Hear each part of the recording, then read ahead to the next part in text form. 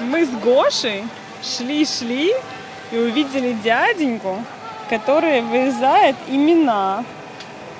Вот, сейчас он вырежет для нас Миша, потому что Миша это я. Надо следить, чтобы он правильно вырезал. Вот, сейчас он еще там сердечко намалякает. А потом он это вырежет, и оно будет вот так вот красивенько. Все он делает вручную. So make it to wear on the neck. Окей? Okay? Вот. Дяденьки очень сложная технология. Нормальные люди делают это лазерным каким-то кем? Плотером. Но дяденька живет в неолите. А в неолите не было плотеров, а были вот такие штуки. Вот. Он мне сделает, чтобы этот ужас я носила на шее. Это, конечно, смешно даже сказать. Вот. Ну да ладно. Сейчас он это будет вырезать все. Гоша сует свой длинный нос, чтобы узнать и в Украине открыть такой же бизнес. Да, дяденька очень увлекательный все делает. Очень быстро. И очень симпатично. Я даже не знаю вообще, как он это делает. А про него, кстати, написали в газете местной. Он местная знаменитость. Да?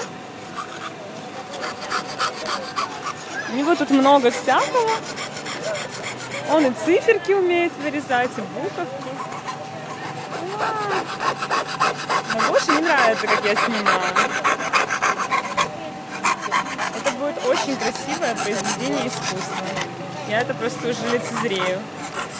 Это произведение искусства. Вот, а здесь очень много покупателей. Всякие тут приходят, смотрят, что тут делается.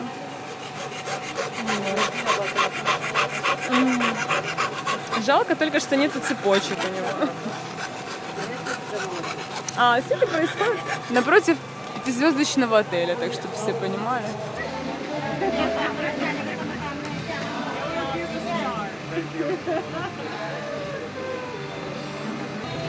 И вот, наконец, наш дяденька все вырезал. И теперь он будет делать бум-бум. Я не знаю, что он делает между двух линеечек. И вот, наконец, шедевр готов. Написано красиво Миша. Сейчас оно будет блестященькое. А потом я нацеплю это на цепочку и буду носить как сумасшедший.